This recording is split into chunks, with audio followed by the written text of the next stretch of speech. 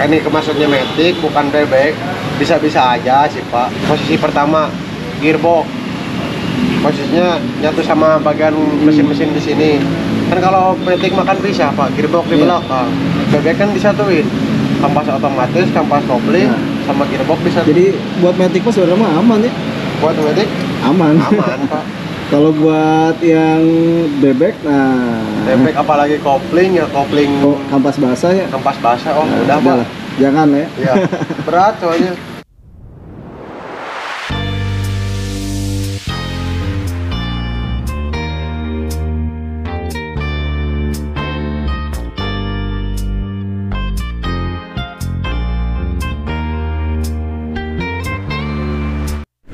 Seharusnya Mang Ojol saat ini sedang dalam perjalanan touring menuju ke Pangandaran teman-teman.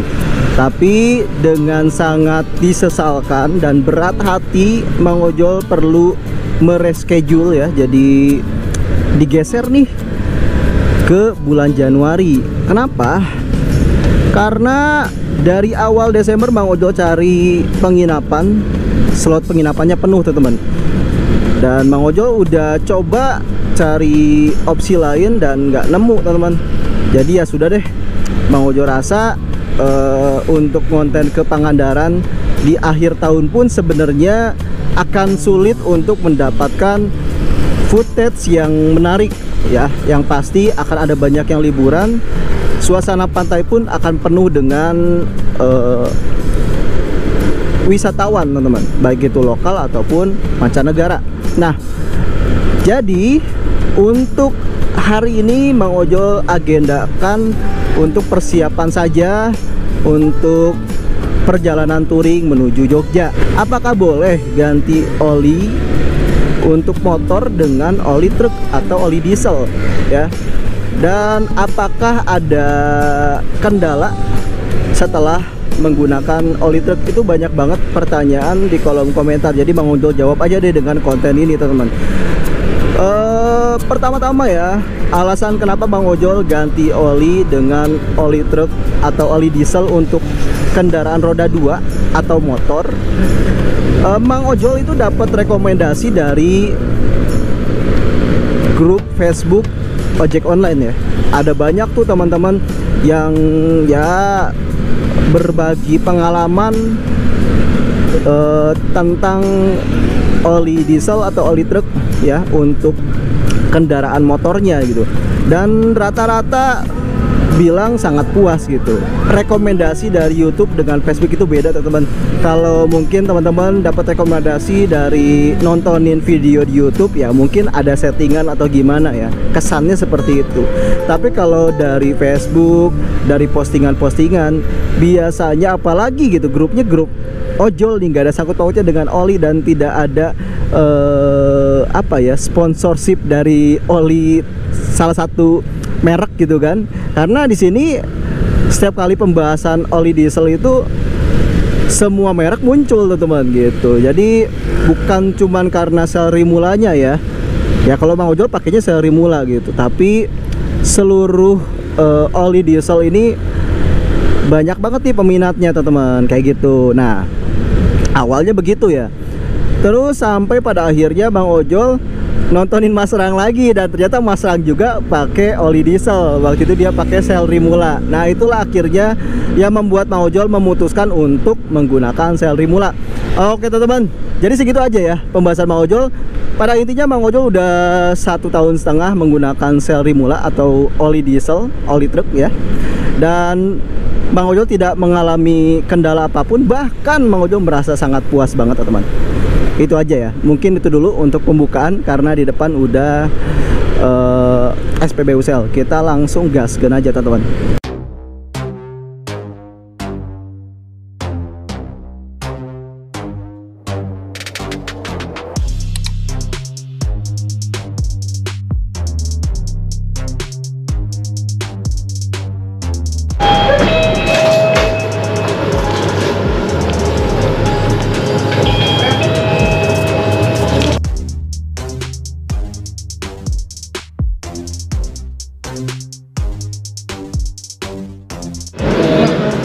Ada lagi? Dishun. Ya. Uh, itu ada aspira ya? Ada piringan cakram? piringan cakram nggak punya. Oh, nggak punya. ada piringan cakram nggak?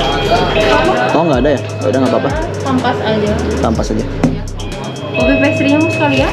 Ah uh, udah. Ya, ya.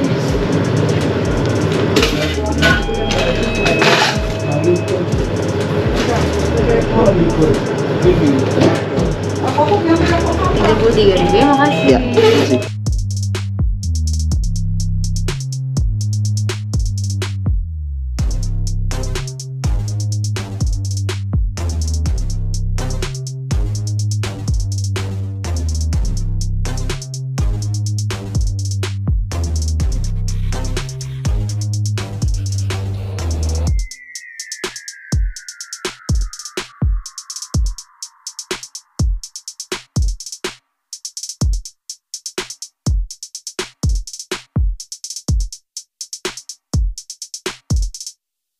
Dia rada telat ya teh.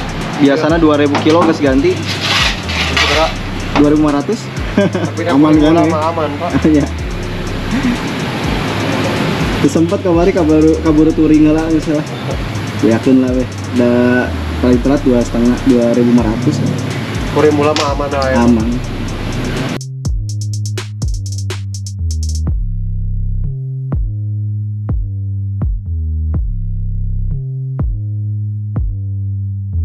Oke naros ke tentang rimula. Kan di dia mah seueur pisan gitu tentang Ya, rimula. monggo nah kan. coba mekanik sana diskusi tentang rimula rimula R4 R5 Oh, ya yang mencekapi mah balik dari ke semestina gitu cuma pemakaian Iya. sendiri. Kan ini kemasuknya metik bukan bebek. Bisa-bisa aja sih pak. Ya masalah rusak rusak atau enggaknya itu 50 50 pak kalau misalkan bebek dikasih oli diesel udah jelas bakal 70 30 udah jelas bakal rusak. Hmm. soalnya apa? Posisi pertama gearbox. Posisinya nyatu sama bagian mesin-mesin di sini. Kan kalau metik makan bisa pak. Gearbox di Iya. belakang paling di sini cuman apa ya tang seher. Ya bagian-bagian penting inti mesin lah. Kalau misalkan bebek kan dipisah pak. Iya. eh bebek kan disatuin. Kampas otomatis kampas kopling Nah. Sama gearbox disatuin Jadi buat metik mah sebenarnya mah aman ya. buat metik Aman. aman pak Kalau buat yang bebek nah bebek apalagi kopling ya kopling kok kampas basah ya. kampas basah oh Nah, udah pak lah. Jangan ya. Iya, berat soalnya.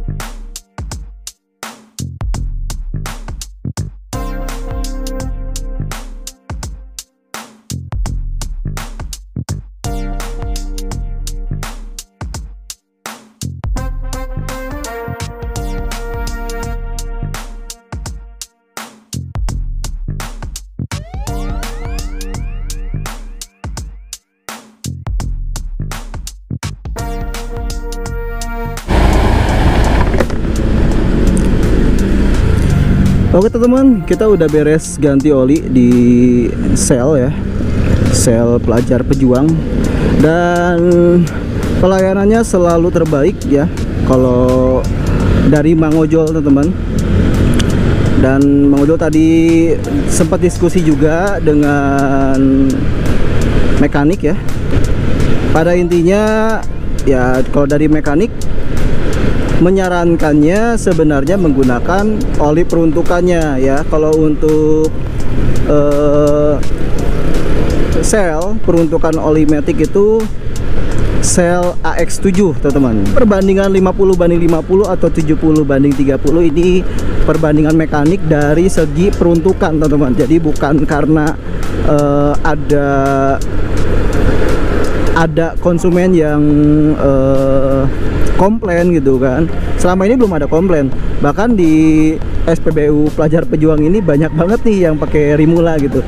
Jadi sempat ada rencana untuk dibahas juga sama mekanik gitu. Nah, untuk penggunaan Rimula ini bukan inisiatif dari mekanik ya. Jadi ini inisiatif dari konsumen, teman-teman. Kalau mekanik selalu menganjurkan untuk menggunakan oli peruntukan ya. Untuk eh, Matic ya yang tadi mau Jo bilang pakai sel AX7. Tapi karena konsumen udah pada tahu manfaat dari Rimula ya mau gimana lagi gitu kan. gitu tuh teman sejauh ini yang mau Jo rasa penggunaan Rimula aduh tadi mau ngojo lupa ya kalau pas tadi eh, selesai ganti oli itu sempat mengojol takar ya. Itu masih lumayan full tuh paling cuma turun 100 mili ya. Padahal Mang Ojol ini kemarin telat ganti oli 2500 biasanya 2000 kilo ya. Karena kan kemarin ya dibilang sibuk banget teman. Karena akhir tahun juga di kantor lagi ada laporan akhir tahun jadi ya pokoknya nggak sempat lah. Mang Ojol hanya berbicara dari segi pengalaman. Mang Ojol nggak pernah mengalami kendala apa pun setelah menggunakan sel Rimula R4 selama satu tahun setengah ya. Bahkan Mang Ojol malah kepincut teman-teman dan ketagihan gitu Eh, dan dari sisi mekanik Mang Ojol tegaskan lagi ini dari segi peruntukannya bukan karena ada yang komplain. Dari segi peruntukannya untuk Matic eh, kemungkinan besar ada kerusakan itu 50 banding 50 untuk jangka panjangnya ya teman-teman. Maksudnya kerusakan pada spare part. Tapi untuk bebek apalagi untuk motor dengan kanvas basah ya itu naik tuh. Kemungkinan kerusakan 70 banding 30% teman dari segi peruntukannya. Tapi kalau untuk kanvas basah itu sudah jelas tidak disarankan ya. Tapi kalau untuk Matic eh, gimana ya? Sudah banyak yang pakai salah satunya Bang Ojol dan Ojol rasa nggak ada kendala malah bikin ketagihan. Itu aja sih dari Bang Ojol. Nah teman-teman bisa simpulkan sendiri eh, apakah teman-teman merasa oli diesel atau oli truk boleh atau tidak digunakan untuk kendaraan roda 2 atau motor khususnya Matic ya? Teman-teman simpulkan sendiri.